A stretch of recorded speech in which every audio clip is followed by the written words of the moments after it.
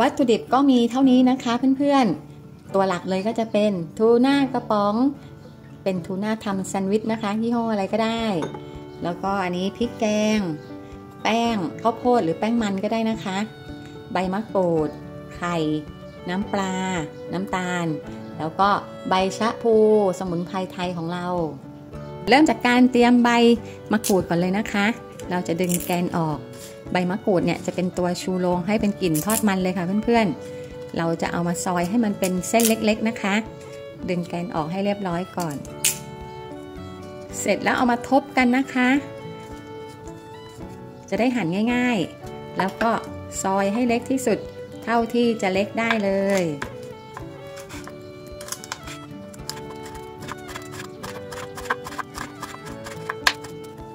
เตรียมใบชะพูนะคะ ล้างทำความสะอาดให้เรียบร้อยนำมาหั่นเช่นกันเลยค่ะ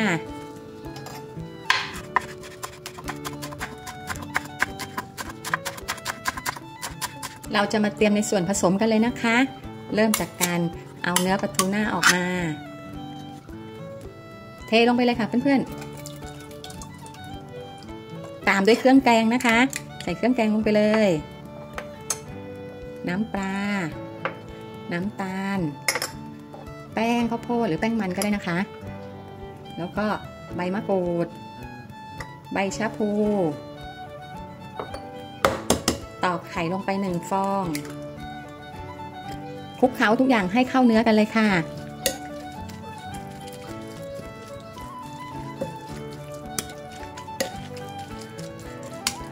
ตอนนี้หอมมากเลยค่ะเพื่อน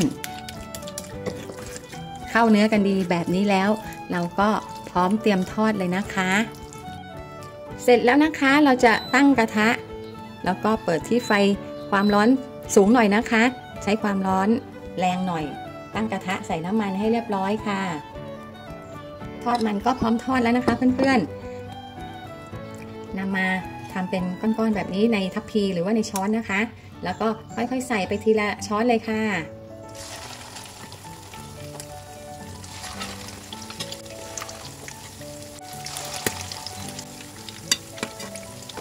ทอดมันสุกก็ค่อย ๆกลับด้านนะคะ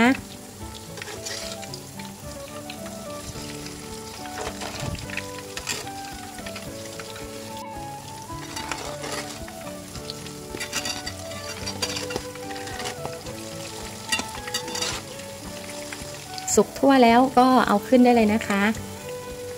พักให้เขาเสด็จน้ำมันก่อน น่าทานมากเลยค่ะเพื่อนๆ ตอนนี้หอมมาก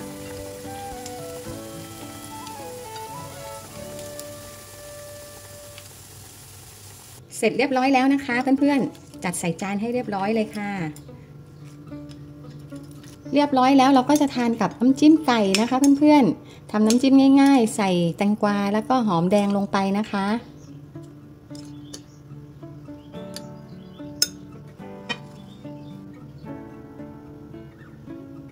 เท่านี้ก็ได้ทอดมันทานง่าย ๆที่บ้านแล้วนะคะ เพื่อนๆทำง่ายด้วยค่ะ เจแปนขอบิให้ดูนะคะ เพื่อนๆกำลังร้อนๆเลยค่ะ อมมากเลยตอนนี้น่าทานมากๆ ต้องจิ้มชิมเลยนะคะ ชิมพิสูจน์ค่ะเพื่อนๆอร่อยมากเจแปานขอตัวไปทานก่อนนะคะ ฝากเพื่อนๆลองทำดูนะคะทำง่ายๆ กดติดตามครัวอร่อยบายเจ๊ปานด้วยนะคะ ขอบคุณมากค่ะ